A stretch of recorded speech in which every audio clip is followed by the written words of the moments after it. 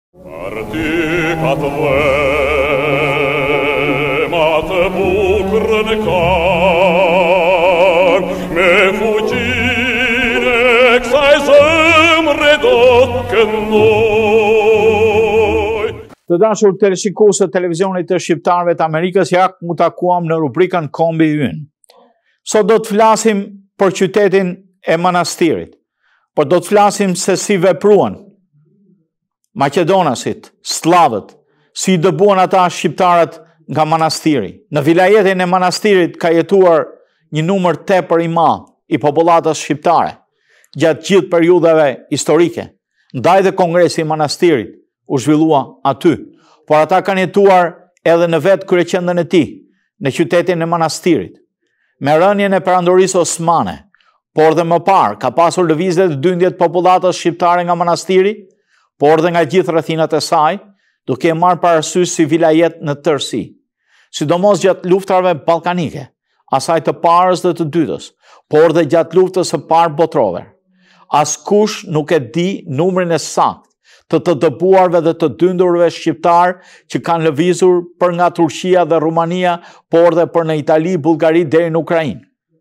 Pas luftës së dytë botërore, edhe pas kësaj periudhe, vazhdoi spastrimi etnik dhe dyndjet e mëdha të shqiptarëve nga Manastiri dhe rrethinat e tij.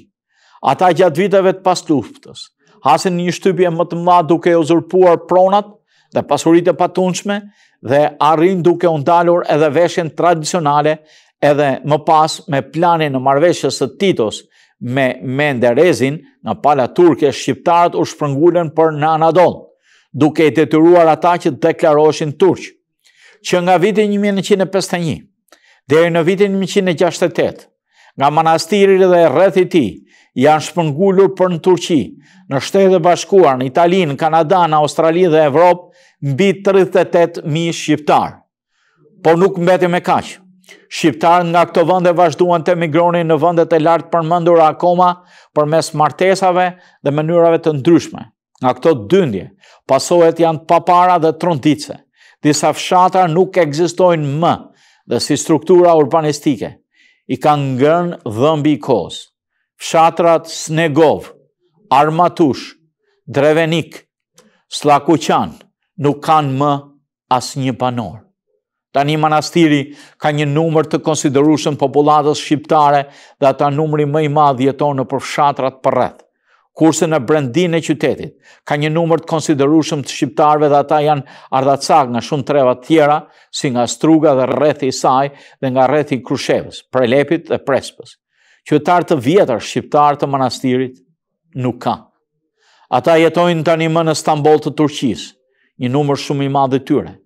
Në fillim, Manastiri ka qenë qytezë e vogël dhe kështu ka vazhduar deri në vitet 1800-1850. Zhvillimi i qytezës në një qytet të zhvilluar me një ekonomi të rëndësishme për vilajetin e atëhershëm filloi pas kësaj periudhe dhe shqiptarët këtu japin kontributin e rëndësishëm ekonomik. Manastiri ishte një udhëkryq, ku gërshetoheshin rrugët e tërë Ballkanit apo Rumelisë, siç quhej atëherë. Akoma dhe asaj kohe po funksiononte rruga antike Egnatia, e cila lidhte gjithë vilajetet e Rumelisë me Stambollin, kryeqendrën e Perandorisë Osmane. Sidomos lidhja me Selanikun dhe me bregdetin shqiptar, ka qenë një rrugë arterie kryesore që ka shërbyer për tregtinë dhe këmbimin e mallrave të ndryshme. Atëherë filloi dhe ringjallja e shqiptarëve, si në aspektin frymor ashtu dhe atë ekonomik. Shqiptarët fillojnë të marrin pjesë në ekonominë e qytetit, bëhen pronarë të objekteve të ndryshme, si të tregjeve, haneve, hoteleve, të asaj kohe, hamameve, banjave publike, zejtarinë e marrin në dorë, merren me tregti dhe me shumë veprimtari të tjera të kohës.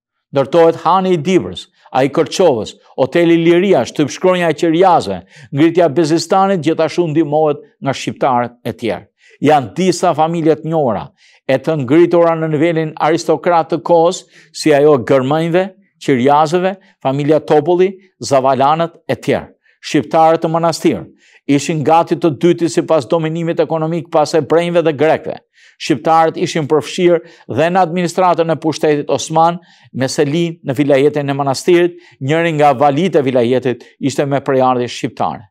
Por e gjithë kjo shkatërrohet gjatë luftërave ballkanike, asaj së parë botërore dhe së dytës, e pas asaj pronat e shqiptarëve, bien në duar të okupatorëve dhe dhunuesve sllavë dhe u merret gati pa pagesë pasi shqiptarët iknin për në Anadol.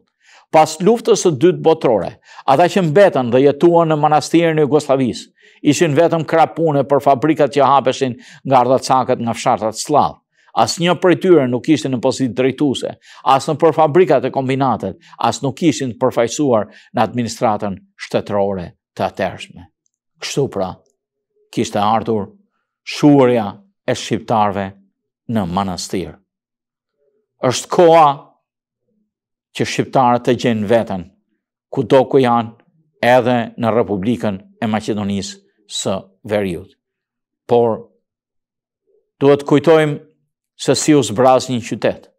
Duhet të kujtojmë me dhimbje, duhet të kujtojmë ne, duhet të kujtojnë bashkatdhetarët që jetojnë këtu në Michigan dhe ky emision është edhe një kushtim për mikun tim, Ilirin, që është nga Manastiri, që i dhimset Manastiri. Ilir Miftari është kameramani, është producenti, është edituesi i televizionit të shqiptarëve të Amerikës dhe kjo dhimbje për Manastirin i takon edhe atij. Natën e mirë.